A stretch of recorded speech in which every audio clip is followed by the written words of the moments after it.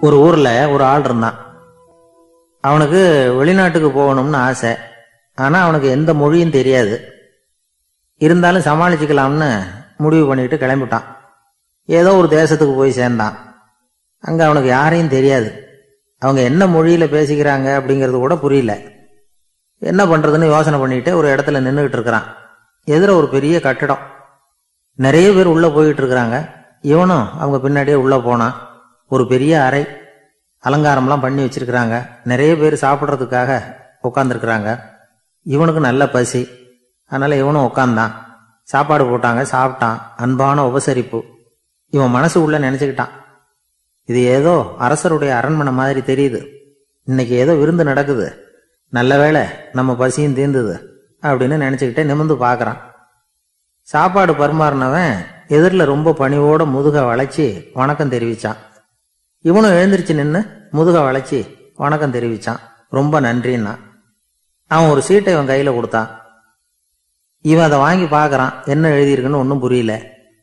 சரி இந்த நாட்டில் தங்களுடைய நன்றியை சீட்டில் எழுதி தான் கொடுப்பாங்க போல இருக்கு அப்படின்னு நினச்சிக்கிட்டு மறுபடியும் நன்றின்னா.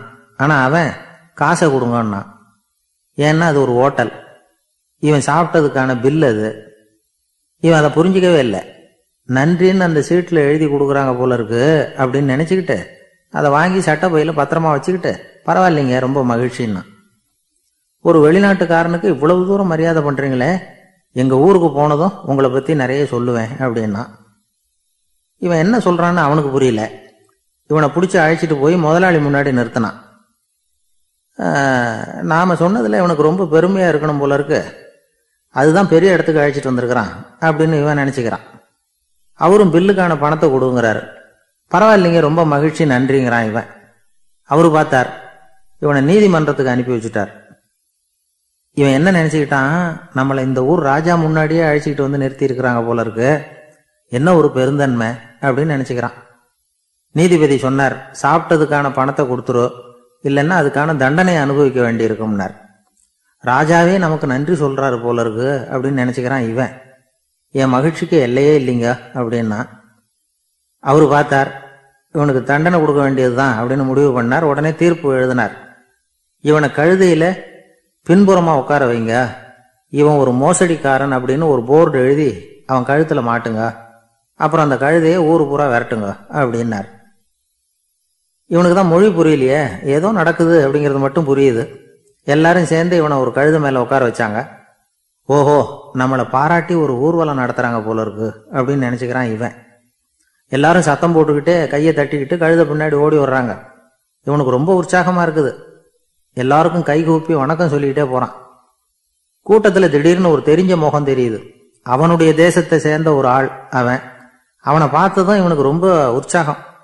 நம்ம ஊருக்கு போனதும் இங்க நமக்கு கிடைச்ச மரியாதையெல்லாம் உண்மைதான்னு சொல்றதுக்கு ஒரு சாட்சியும் கிடைச்சுட்டுது அப்படின்னு நினைச்சுக்கிறான். அவனை பார்த்து கத்தனான் நல்லா பார்த்துக்க. இந்த ஊர் மக்கள் எனக்கு எப்படிப்பட்ட வரவேற்பு கொடுக்குறாங்கங்கிறத நல்லா கவனிச்சுக்கோ அப்படிங்கிறான். அவனுக்கு அவமானமாக போட்டுது. தலையை குனிஞ்சுக்கிட்டே நழுவி போயிட்டான். இவன் பார்த்தான் அவன் தலை தெரியல. ஆகா அவனுக்கு நம்ம மேலே பொறாம போல இருக்கு. அதனால தான் காணாமல் போயிட்டான் அப்படின்னு நினச்சிக்கிறான்.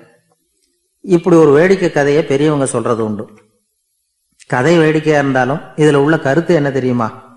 அந்த கழுத மேல உட்காந்துருக்கிறானே அது மாதிரி தான் நாமளும் அகங்காரம்ங்கிற கழுத மேல உட்காந்துக்கிட்டு இருக்கோமா?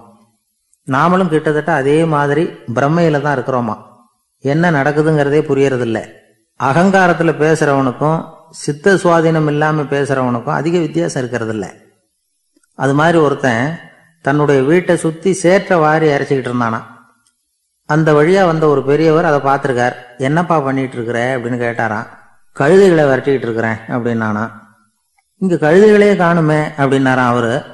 அதுதான் ஏற்கனவே விரட்டி விட்டனே அப்படின்னானா இவன்.